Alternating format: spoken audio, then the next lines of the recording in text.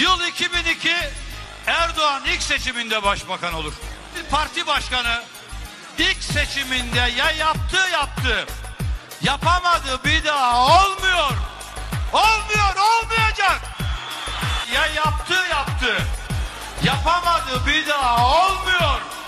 Olmuyor olmayacak. Şimdi Bay Muharrem 24 Haziran'da aynı şekilde sen bu seçimi kaybedersen ne yapacaksın onu söyle. Siyasetinde Recep Tayyip Erdoğan diye bir adam var. Çok güçlü bir figür Hüseyin Erbil. 2002'de yenmiş.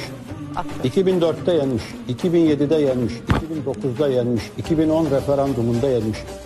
2011'de yenmiş. 2014'te yenmiş. 2017'de yenmiş.